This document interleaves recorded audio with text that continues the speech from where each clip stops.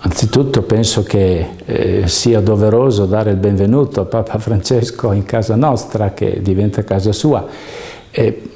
quello che m, mm, desidero sottolineare è che avere scelto quella casa evidentemente ha anche dei problemi legati alla posizione, alla sicurezza, una serie di cose che noi diremmo esterne sicuramente, ma dobbiamo anche lasciare sempre quel margine alla provvidenza che fa bene le cose, che sa riuscire a vedere anche degli elementi soprannaturali nella storia. E penso che Papa Francesco entrando in quella casa incontrerà alcune parole del Beato Giacomo Alberione che, abbiamo messo proprio che lui ha fatto mettere proprio all'inizio della casa,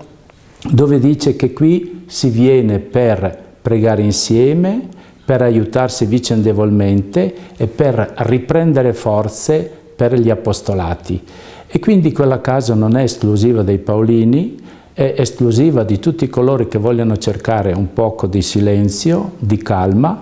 e eh, compiere gli esercizi spirituali come è previsto. La novità di questa notizia, per chi in qualche modo conosce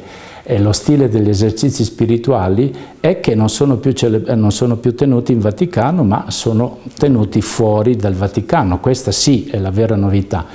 Per quanto riguarda di andare nella nostra casa di, di Ariccia, noi siamo contenti che il Papa attraverso i suoi collaboratori abbia scelto il nostro posto e speriamo che eh, dia anche qualche buona parola per il nostro centenario.